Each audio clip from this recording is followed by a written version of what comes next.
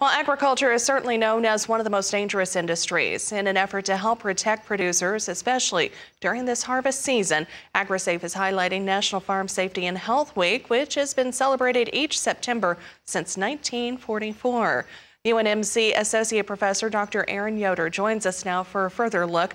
And Dr. Yoder, thanks for taking the time to chat with us. Certainly an important topic. So when exactly is the National Farm Safety and Health Week and the overall objective? Sure. So um, thanks for having me. Normally it's the uh, third week of September, so starting next week, uh, we will highlight some of the efforts we have we have been doing out there through different national organizations and local and regional events. Um, so starting next week, there'll be several webinars that are put on by AgriSafe. Um, all of this effort is also managed by the National Education Center for Ag Safety and Health, um, based out of Iowa. Is it easy to participate? I mean, how can folks kind of sign sign in and maybe watch along on these webinars? Sure. So the, the webinars are available if you go to N-E-C-A-S-A-G dot org, or just Google Farm Safety and National Farm Safety and Health Week.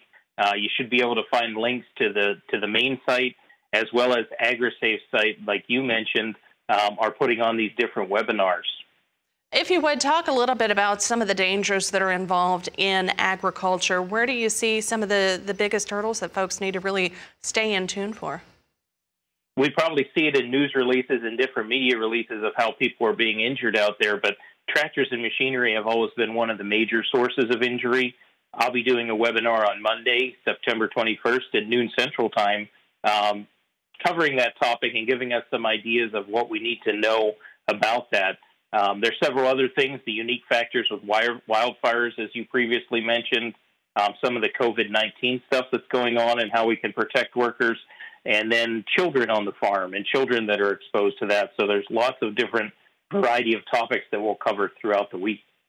Well, again, now where can we find additional information about National Farm Safety and Health Week? So, Googling National Farm Safety and Health Week is probably the easiest way to find it but looking up the National Education Center for Ag Safety um, is another great place, and AgriSafe.